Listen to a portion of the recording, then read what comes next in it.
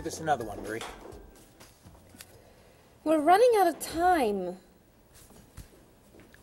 Oh, there she is. I'm sorry I'm late. I couldn't find a parking space. Have you been here long? Since yesterday. But it's no problem.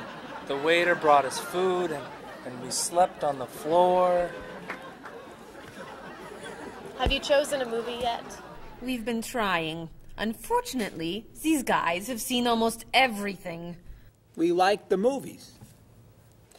What about the action film, The Last Train to Hong Kong? Where's this train going? Believe me, you'd rather not know. We're going to Hong Kong, aren't we? Rather stay here and fight the hundred men. No, but I've always wanted to see Hong Kong. Look out! They've been doing this for a half hour. That looks a little too violent for me. What about On the Bridge? I hear it's great. You're late, Frederick. I'm sorry. And I've waited for you for so long. I got stuck in traffic. For two years? Very romantic.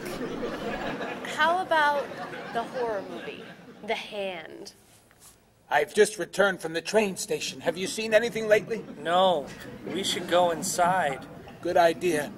I don't want to see that terrible hand. Do you really think there's a hand out there that. Uh, oh, stop doing that right now, and the movie tickets are my treat.